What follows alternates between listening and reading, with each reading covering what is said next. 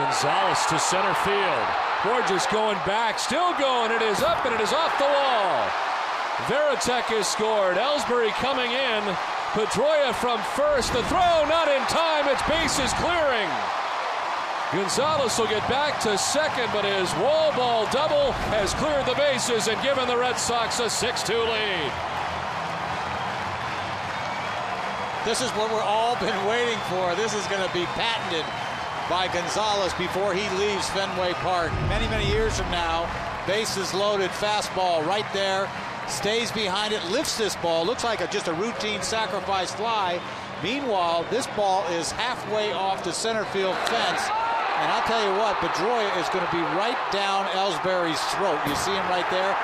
And this is going to be a strange play. You're going to see Ellsbury bang into Mathis right here. You don't see him, but he almost knocked